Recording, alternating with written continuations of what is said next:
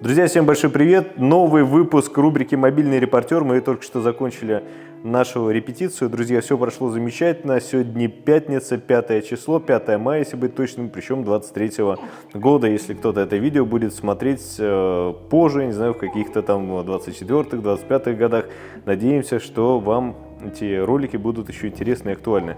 Многие друзья из вас, подписчики, спрашивают постоянно про Тома. Это новые зрители и интересуются, кто же это, чем же он занимается, почему он, э, скажем, постоянно появляется в наших видео и, собственно... С телефоном. Да, с телефоном сидит молча, как правило, и, собственно, наблюдает за происходящим. Друзья, значит, я хотел бы все-таки представить для тех, кто не знает э, этого человека, это э, мой родной человек, э, Тамази Микава, муж моей мамы, практически можно сказать, что это мой папа.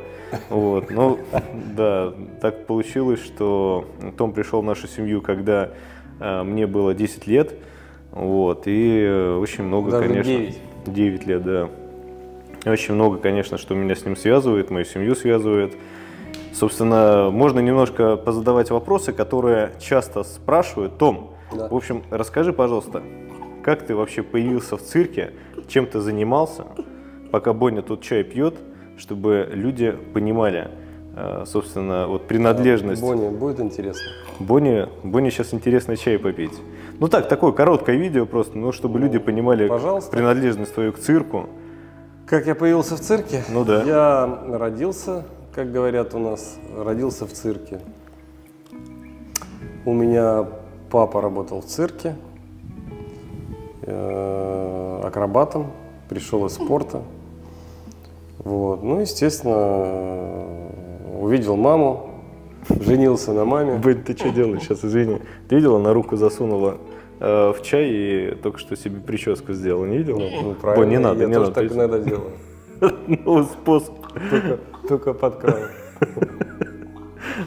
Том, давай рассказывай, иначе сейчас мы тут э, точно Ну отвлечемся. и я родился и с малых лет, с двух месяцев от рождения поехал э, на гастроли э, вместе с родителями. Потом ну, закончил 8 классов, здрасте. Э, Поступил в цирковое училище, закончил цирковое училище, отслужил армию.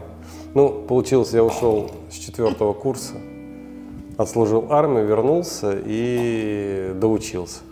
В училище цирковом. Да, закончил э, цирковое училище и э, пошел как исполнитель по распределению, попал в номер в цирковой, художественно-акробатическую группу.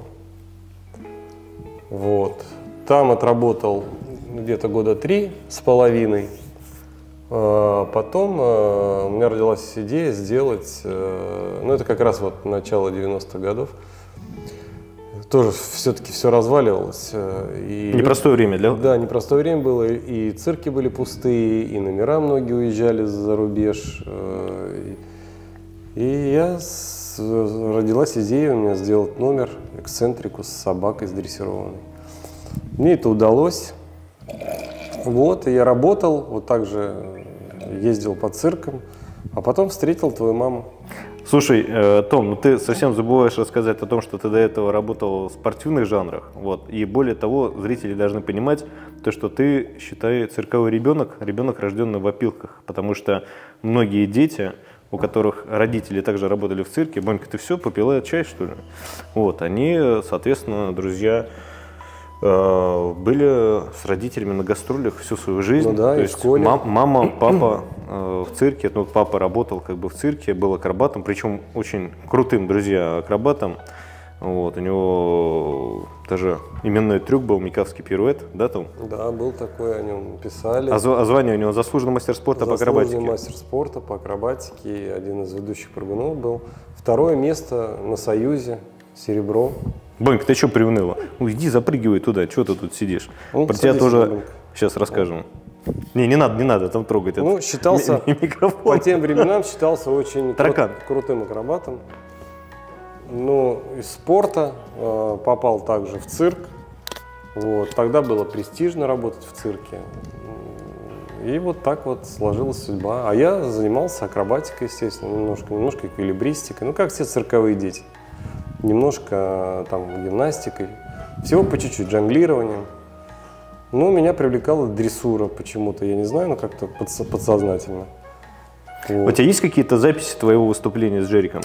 А, Есть одна запись, случайно нашел, но это уже такое, на спаде было, он уже был возрастной. Это был Гомель, 90, э, 90, вот сейчас не вспомню, но это а, 90, по-моему, восьмой год.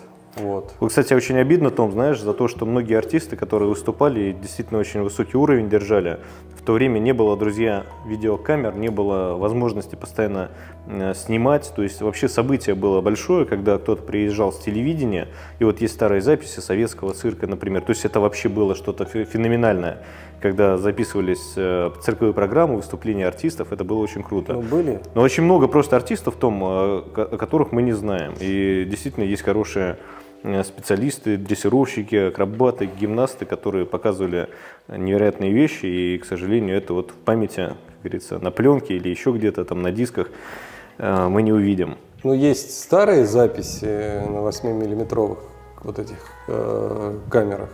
Артисты сами снимали, кто-то, ну, Еще камеры такие большие, помнишь, были с огромными кассетами? Да, э, ну еще вот такие были. У моего отца было, и заснята работа. У меня есть в памяти, оцифровано все. У меня есть работа отца моего. Бонька, иди сюда, чего ты там спряталась? Вот. Иди, моя королева. Э, И можно поискать. э, И телевидение раньше снимало, были передачи про цирк. Вот, садись, много. Тома, посиди. Притом передачи были региональные. И, например, белорусское телевидение снимало, и в Екатеринбурге была передача очень много о цирке э, э, велась. Поэтому...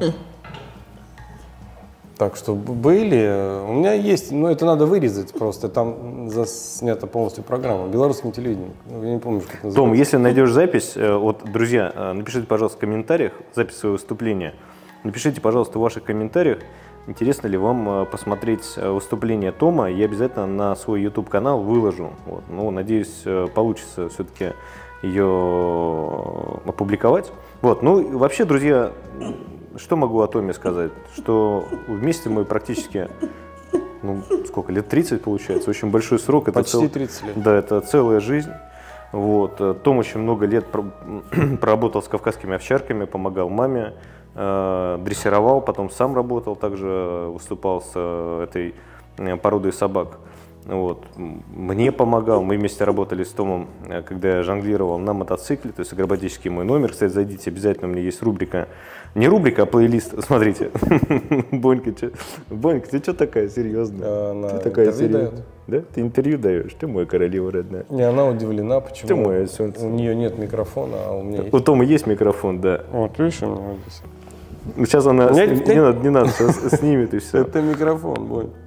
Вот, а, и еще, друзья, если вам, в принципе, интересно вот э, такое видео, обязательно напишите, ребят, напишите свои вопросы также в комментариях, и, возможно, э, ну, если вам понравится, мы что-нибудь такое интересное тоже э, снимем, может быть, вам захочется что-то узнать, вот, и мы, э, точнее, я засчитаю, или Том засчитает комментарии ваши, снимем еще один ролик.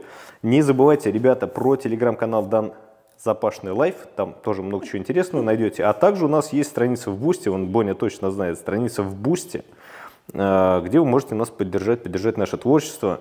И это совершенно независимая площадка от Ютуба. Первое, ну то есть все видео сначала появляются там, а потом уже на Ютубе.